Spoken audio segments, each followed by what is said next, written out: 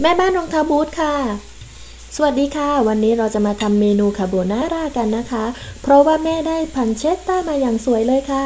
pancetta ก็คือหมูสามชั้นรมควันนะคะ แบบอิตาลีเนาะ มันมีหลายแบบค่ะ แต่ว่าวันนี้ขอเลือกใช้ตัวนี้ เพราะว่ามันหอมมาก เหมาะแก่การทำคาโบนาร่าสุดๆเลยค่ะ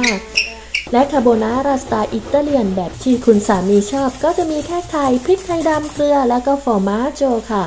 เราก็จะคนทุกอย่างให้เข้ากันเป็นน้ำซอสเตรียมเอาไว้นะคะ จากนั้นก็จะไปทอด pancetta กันค่ะ ระหว่างทอด pancetta น้ำก็เดือดพอดีแม่ขอใส่เส้นสปาเกตตี้ลงไป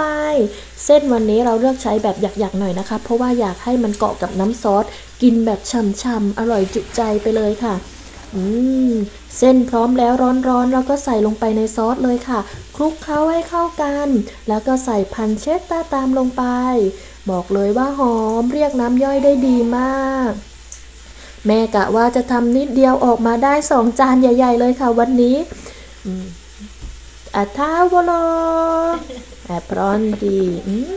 มอร่อยค่ะ คุณสามีบอกอร่อย อะไรที่แม่ทำอร่อยหมดทุกอย่างเลยค่ะ Buon Buon appetito